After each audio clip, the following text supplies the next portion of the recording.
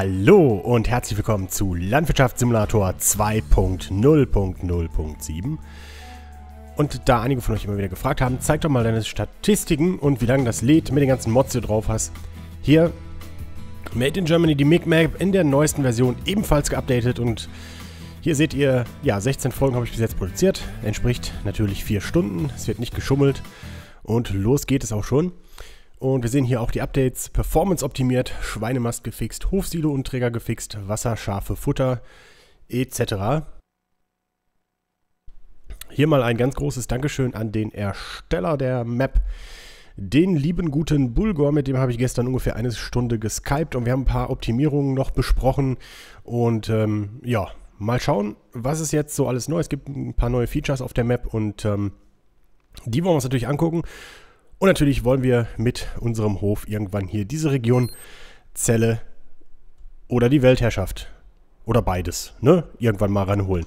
So, ähm, nichtsdestotrotz müssen wir natürlich sofort hier unsere Maschinen wieder in Gang bringen, äh, damit es hier auch weitergeht. Und ihr seht da oben schon Misch, äh, Mischstationen. Was ich ebenfalls installiert habe, ist ähm, hier ein, äh, huch, wollte ich doch gar nicht. Äh, hier ein, ein ein Zündmod. Ja, müssen wir erstmal einmal kurz vorglühen. So, und dann wollen wir natürlich jetzt langsam mal hier ans Sehen ran. Und ich habe auch die Texturen zurück verändert, und zwar auf die ursprüngliche Version. Bedeutet, jetzt sieht also das Gras sieht wieder hübsch aus. Und, ähm... Ich frage mich gerade, was wir hier mal eben sehen sollen. wir hatten beim letzten Mal, glaube ich, geplant, dass wir Raps sehen wieder, ne? Und, ähm... Ja, und diese Felder sind natürlich nicht so geeignet für die Helfer. Deswegen wollte ich da auch nochmal eine Sache zeigen, ähm, die ihr vielleicht ein bisschen berücksichtigen könnt, wenn ihr mit dem Helfer hier auf der Map spielen wollt. Ich muss nur gucken, wo ich das jetzt hier am besten sehen kann. Hier sieht man es am besten. Und zwar würde ich euch empfehlen, euch äh, immer erstmal der Einfachkeit halber an der Maserung, an der Faserung der Bodentextur zu orientieren. Ich zeige euch, was ich meine.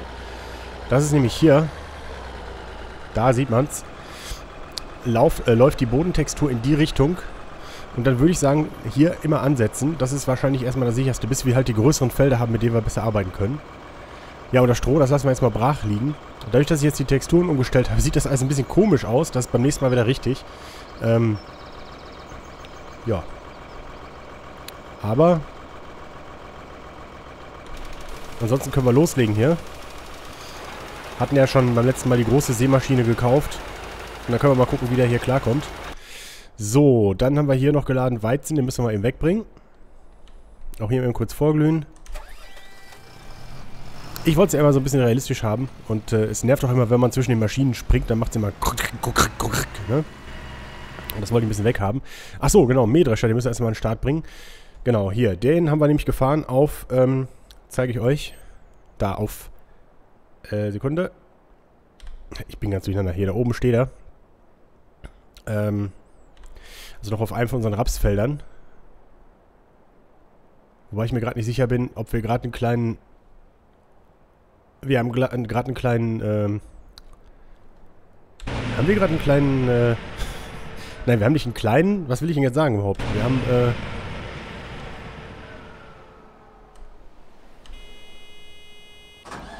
So, erstmal wieder starten. Genau. Wir haben einen kleinen Rollback, oder? Haben wir dieses Feld schon geerntet? Oder bin ich jetzt ganz durcheinander gekommen? Sehr merkwürdig. Normalerweise hätten wir keinen äh, äh Rollback haben dürfen. So, der kann schon mal wieder weiter hier das Getreide zur Mühle bringen bin mir jetzt echt gar nicht sicher, ob wir einen kleinen Rollback haben. Nee, aber wir hatten doch dieses Feld, haben wir da schon gesehen. Wir hatten das da hinten leer gemacht. Aber wir haben doch einen Autosave-Mod drin. Er hätte doch eigentlich alles speichern müssen, oder? Wir gucken das erstmal nach hier. Ich bin gerade gerade etwas verwirrt. Also wir hatten äh, die kleinen Felder gesät hier. So, dann haben wir das hier geerntet. Dann haben wir da hinten Gras geerntet. Wir haben... Wir können es wahrscheinlich auch sehen, indem wir gucken, ob wir die Kühe, ob die jetzt ein bisschen Stroh drin haben. Ähm, ähm, ähm. So, ihr seht übrigens noch eine Neuerung. Wir haben jetzt, ist diese Map eine Multifruit-Map. Will heißen, wir können jetzt diverseste Dinge hier multifruit. Da guck, seht ihr, Stroh haben wir letztes Mal reingepackt. Passt also. Das Silo ist fertig. Ja, ich bin gerade etwas verwirrt hier. Wir hatten doch... Wir fahren mal eben hier einmal außen rum. Ja schon wieder ein paar Wochen her, dass ich die letzten Folgen aufgenommen habe. Aber das soll uns nicht dran hindern. Wenn es jetzt ein bisschen doppelt gemoppelt ist, dann bitte ich das zu entschuldigen. Aber normalerweise passt es ja auch von der Spielzeit und der Folgenzahl. Ich glaube, ich verwechsel gerade einfach nur zwei Felder. Aber ich wollte euch noch was zeigen, was neu ist. Seit dem letzten Update. Nicht nur sind die Gebäude jetzt hübscher. Also da waren ja ein paar Dummy-Gebäude noch drin, sondern wir haben hier Futtermischstationen. Wir können jetzt hier, äh, können zum einen natürlich hier wie gewohnt unsere Sachen abladen. Wir können aber auch ähm, jetzt hier in die Futtermischbatterien ähm, das Futter reinladen, dann wird das Futter gemosch, gem, gemischt. Wir können Mischrationen aus unterschiedlichen Sachen herstellen. Könnt ihr mal gucken hier, zeige ich euch. Muss ich jetzt den Trick auch immer ausschalten oder was?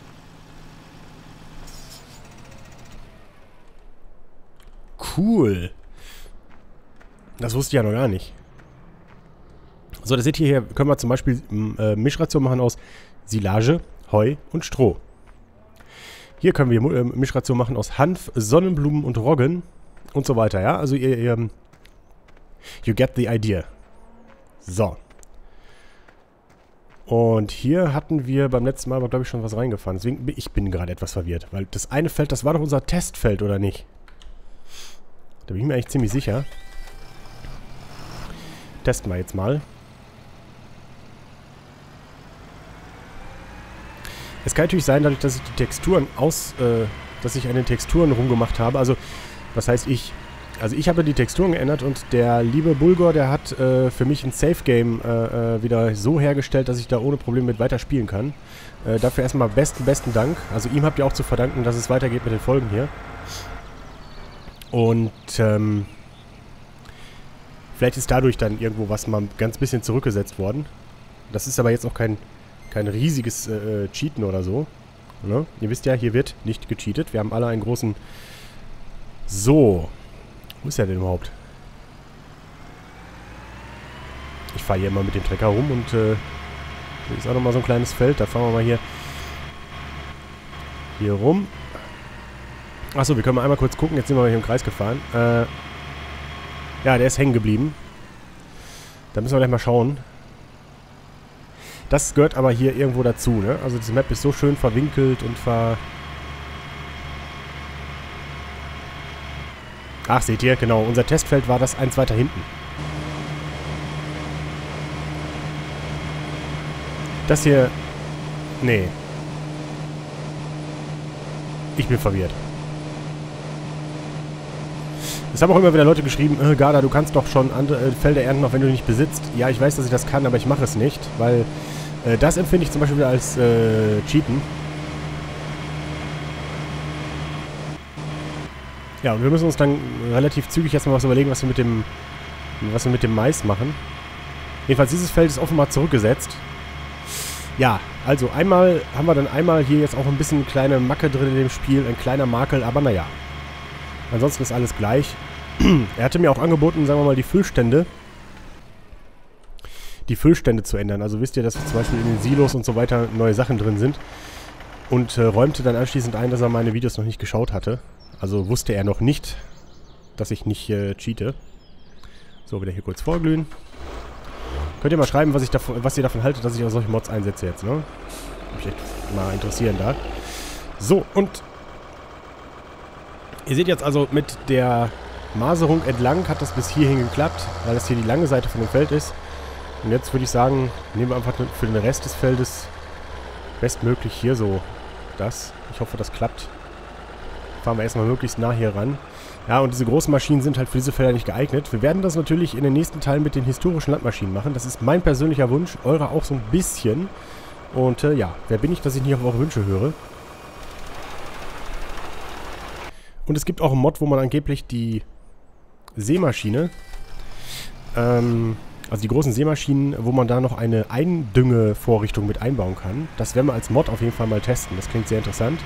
Und ich fahre jetzt mal eben, ich kann auch hier über die Straße fahren, fällt mir gerade ein, mal eben unsere Sachen ins Lager, denn wir müssen gleich da oben, das seht ihr schon, den Glas Mega mal eben abtanken. Wobei ich glaube, dass wir vergessen haben zu spritzen. Aber das wird ja jetzt mit den neuen, mit den neuen äh, Maschinen, mit der See-Dünge-Kombi wird das ja nicht mehr passieren. So sind noch ein paar Scheunen dazugekommen. Was auch neu ist, ist hier hinten, das seht ihr gleich, neue Höfe. Und zwar hat er Höfe von anderen Bauern genommen, die es also in echt gibt und hat dann quasi daraus den Hühnerhof und die Schafsfarm gemacht. Bei mir ja sehr beliebt, wie ihr wisst. Hier, ne, das gucken wir uns auch nochmal an. Sobald wir anfangen mit den Tieren zu arbeiten. Hier seht ihr die Sonnenblumen, seht ihr das? Die sind natürlich noch so ein bisschen, ja, ein bisschen sehr grell, aber er hat mir versprochen, damit ich nicht Augenkrebs kriege, macht er die irgendwann mal ein bisschen dunkler für mich. Das finde ich echt nett. Es wäre auch ein neues Zäunchen rum um die Futterlager. Das eine Futterlager rechts war ja auch noch nicht so ganz fertig. Also das mit Kartoffeln und ähm, Zuckerrüben. Da war dahinter noch so ein bisschen Brachland. So, hier, so rum soll man nicht reinfahren. Und da ihr immer mit mir schimpft, wenn ich sowas mache, fahren wir mal andersrum. Da war noch die Textur ein bisschen kaputt. Aber ansonsten, ja, tausende von... Hier haben wir übrigens eine Waage. Ne, ist auch neu. Was man damit machen kann, bin ich mir nicht ganz so sicher. Aber es sieht wohl so aus, als würde hier ermittelt, wie viel, wenn man jetzt zum Beispiel Multiplayer spielt, wie viel welcher Spieler ähm, ja, abgeliefert, erwirtschaftet hat. Finde ich eine coole Sache. Ich denke mal, das wird dann auch gespeichert und ja, es ist echt nicht schlecht. So, was haben wir hier? Okay, und auskippen.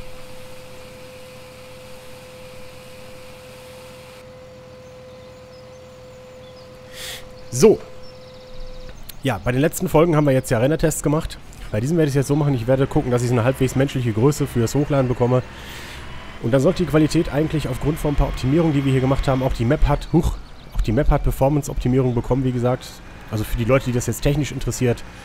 Ähm, es waren zum Beispiel einige Objekte hier drauf, hat mir der Bulgo erzählt, die, ich glaube die Schilder waren es, die, ja, man kann ja immer die Reichweite von den Objekten einstellen und bei allen Schildern, die er reingebaut hat, im letzten Patch, ähm, hat er die Sichtweite zum Beispiel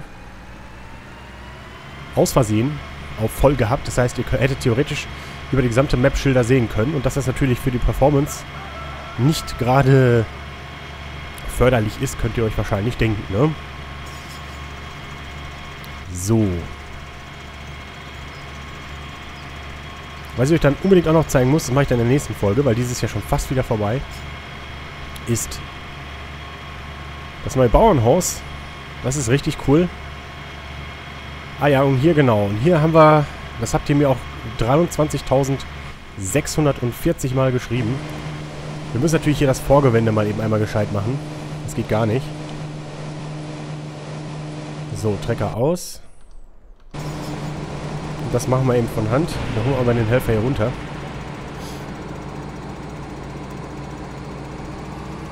So. Äh, liebe Modder, ich fände es übrigens cool. Ich meine, dieser Drescher ist ja sehr, sehr geil. Aber diese, dass man dann immer zwanghaft so eine Drescher-Grafik da unten hinmachen muss, weil es geiler aussieht, finde ich jetzt nicht so toll. Weil äh, mich irritiert das immer. Wenn ich jetzt, also wenn ihr jetzt mal guckt, ich meine, man kann es jetzt klar sehen eigentlich, ne? Aber, naja. So, dann fahre ich mal selber hier. Chef fährt selbst.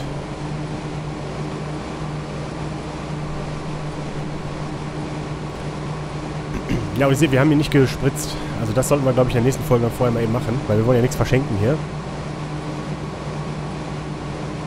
Oh, das machen wir auch erst, würde ich sagen. So, was macht der hier? Der ist noch immer schön unterwegs. Ja, also, ich hoffe, es hat euch wieder wie immer äh, gut unterhalten. Äh, es hat euch Spaß gemacht zuzuschauen. Würde ich mich freuen, wenn ihr beim nächsten Mal wieder reinschaut. Wann die nächste Folge kommt, seht ihr wie immer im Sendeplan unter tv.garderol.de. Ich danke recht herzlich fürs Zuschauen, freue mich auf eure Kommentare, euer Feedback, eure Daumen.